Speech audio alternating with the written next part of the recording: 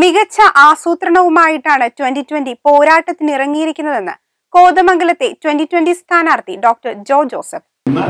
തട്ടേക്കാട് പിന്നെ കുമരകം. ബാക്കി ചെറിയ പക്ഷി സങ്കേതങ്ങളുണ്ട്. അപ്പൊ ഇതുമായിട്ട് ബന്ധപ്പെട്ട് പ്രത്യേകിച്ച് കേരള ടൂറിസം ഡെസ്റ്റിനേഷൻ ആയിട്ട് നമ്മൾ ബ്രാൻഡ് ചെയ്തേക്കാണ് ഗോഡ്സ് ഓൺ കൺട്രി എന്ന് പറഞ്ഞിട്ട്. അതിന്റെ ഒരു നല്ല പങ്ക്. നമ്മൾ ഈ തട്ടേക്കാട് ബേർഡ് സാങ്ച്വറി അഡ്വർടൈസ് ചെയ്യുകയും പിന്നെ അതൊന്ന് പരിപോഷിച്ചെടുക്കുകയാണെങ്കിൽ ഒരുപാട് വികസനം അത് ഒറ്റ സാധനം ഒരു കാര്യം മാത്രം വികസിച്ചെടുത്താൽ കോതമംഗലം ടൗൺ മൊത്തമായിട്ട് വളർന്നു പോകും. അപ്പൊ അതുമായിട്ട് ബന്ധപ്പെട്ട കുറച്ച് കാര്യങ്ങൾ. പിന്നെ അതുപോലെ തന്നെ ഈ നമ്മുടെ കർഷകർ കർഷകരിപ്പം വളരെ വിലക്ക് വില ഇല്ല അങ്ങനെയുള്ള ഒരുപാട് കാര്യങ്ങളുണ്ട് ബുദ്ധിമുട്ടിയിരിക്കുകയാണ്. കർഷകരെ സംബന്ധിച്ചിടത്തോളം ഒരു ഗോൾഡൻ ഓപ്പർച്യൂണിറ്റിയാണ് ഒരാൾക്ക് ഒരു മുറി മതി.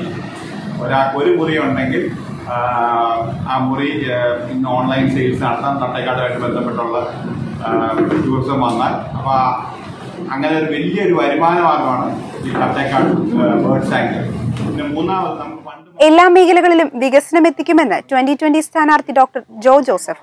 കോതമംഗലം പ്രസ് ക്ലബിൽ മാധ്യമപ്രവർത്തകരോട് സംസാരിക്കുകയായിരുന്നു അദ്ദേഹം. തട്ടേക്കാട് പക്ഷി വളർത്തൽ കേന്ദ്രം നെല്ലിക്കുഴിയിലെ ഫർണിച്ചർ ഇൻഡസ്ട്രി എന്നിവയുടെ നവീകരണം തന്നെ ആസൂത്രിതമായി നടപ്പിലാക്കിയാൽ കോതമംഗലത്തെ മുഖച്ഛായ മാറ്റാൻ സാധിക്കുമെന്നും വികസനത്തിന് ആസൂത്രണമില്ലാത്തതാണ് പാളിച്ചകൾ ഉണ്ടാകാൻ കാരണമെന്നും മികച്ച ആസൂത്രണവുമായിട്ടാണ് ട്വന്റി ട്വന്റി പോരാട്ടത്തിനിറങ്ങിയതെന്നും മുല്ലപ്പെരിയാർ വിഷയത്തിൽ നിയമപോരാട്ടം തുടരുമെന്നും സ്ഥാനാർത്ഥി വ്യക്തമാക്കി. Metro Seven News Kothamangalam. കല്യാണത്തിന് ഫുൾ ഫാമിലിയും സ്പെഷ്യൽ ആവണം. അതിന് ഏറ്റവും ബെസ്റ്റ് സ്വയംവര സിൽക്സ് അതിലൊരു സംശയമില്ല സ്വയംവര സെൽസ് മനസ്സിന്റെ തൃപ്തി ഇവിടെയാണ്.